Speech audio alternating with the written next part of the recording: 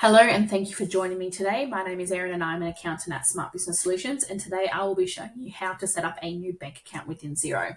So as you can see, I do have my Xero file open. I'm currently in the dashboard and I already have a credit card set up.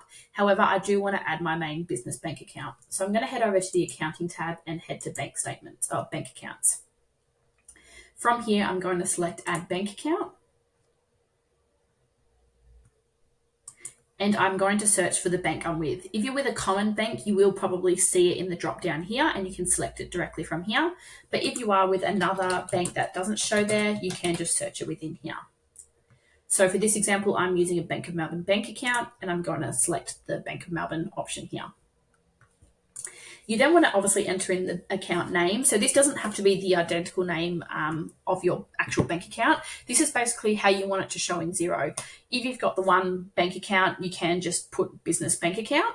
Um, however, as you start to have multiple bank accounts or with multiple banks, it's probably really important to start uh, naming your bank accounts so they're easily identifiable.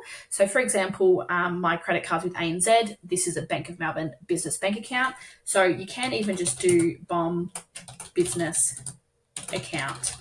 Um, you don't even have to include the bank name. Um, it, this is entirely up to you. So, you could even just do the business account and the account number, the last four digits of the account number. So, for example, my bank account ends in 6789 and I'll show you why that is pretty relevant uh, in a moment. So then heading over to the account type, you will most likely always have to select the everyday account unless it is a loan or a credit card. Otherwise, you just select everyday, enter in your BSB and account number. If you are with multiple currencies, you can uh, select the correct currency in this drop down. And if you are utilizing batch payments within Xero, make sure that you do tick this.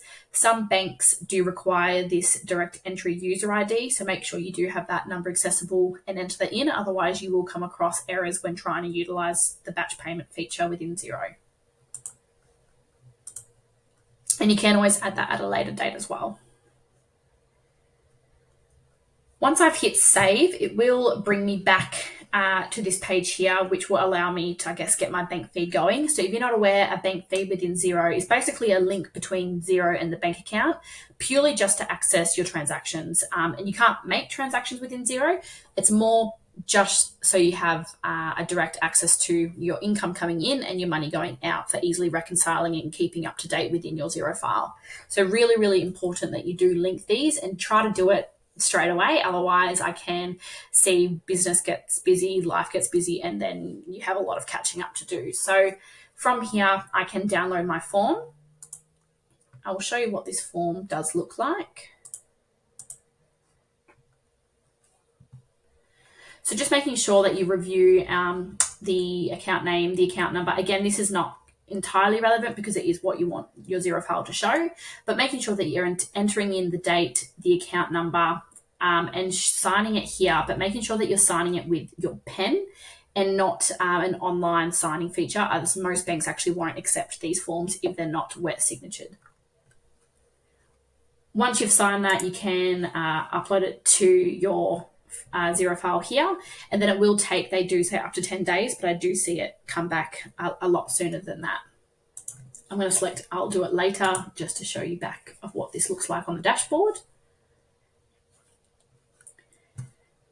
So you can see here, uh, like I said, I have my two bank accounts. You will see this go, I guess, live once this turns activated. It will actually prompt you nice and green, and you will probably start to see um, a little box appear rather than get bank feeds. You'll see reconcile, and that is just proof that your transactions are flowing through into Xero. So any, I guess, transactions that you make today will actually appear within Xero by 6 a.m. tomorrow morning. So there is a little bit of a delay, but generally it is, you know, within 24 hours you'll see your transactions, and that will make for really easy bookkeeping. Uh, this is with Bank of Melbourne. So if you are with one of the big four banks, and I'm not too sure what other banks do um, have this feature, but you can actually link your bank feeds directly with within your uh, online banking as well, depending on what bank you're with. By clicking get bank feeds on one of these big four banks, you will notice that it opens up uh, Xero Central. So I have just gone and gone back a step. Um, so this isn't just ANZ, but every bank bank feed. And you'll see here that every single bank uh, feed option within Xero actually has their own, I guess, list of instructions because every bank is actually different in how they enable you to connect your bank feed. So within ANZ, if you were to scroll down to apply for your feed, it's pretty straightforward with their steps. It says log into your online banking and then follow ANZ's direct instructions. So this again will take you to another set of instructions on how to link your ANZ bank feed. Like I said, though, every bank is different. So some will make you log into your online banking and go to different areas. So this um, page is really useful if you're if you are with multiple banks uh, to get these bank feeds set up. Uh, you know, within the day of opening your bank account. So, like I said, you know, if, it gets too far away, it's a lot of admin to, I guess, catch up with these things. So, trying to do this as soon as you have your bank account um, operating. And it is very easy just to follow the steps within either Xero's set of instructions or within the bank um, website themselves. Once you do follow those steps and get your bank feeds connected, uh, if you did do it through one of these big four banks through the online bank feature, it does take only generally 24 hours to 48 hours to actually update your feed. And again, this will go from get bank feeds to most likely reconcile if you've had transactions occur. And again, if you do these three dots, it will actually say activated, and that's, I guess, confirmation that your feed is up and running. Where you have to be careful though is once that bank feed is up and running, I would always suggest, uh, if it lets me get to my bank account,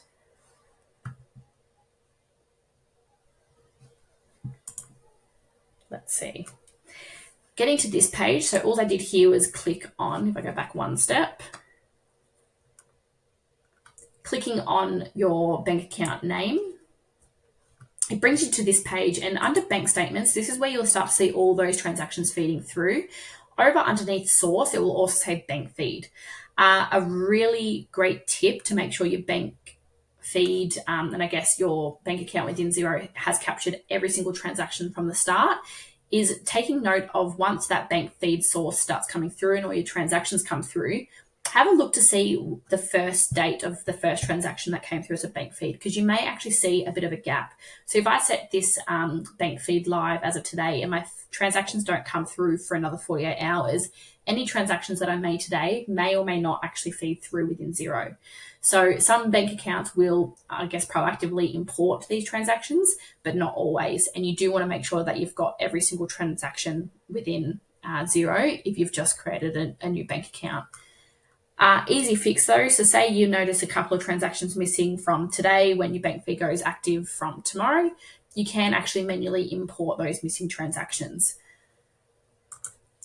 However, that is how you do set up a bank account. If you do have any issues with creating one within Xero or unsure on how to manually upload those um, transactions that are missed, feel free to always reach out. Thank you.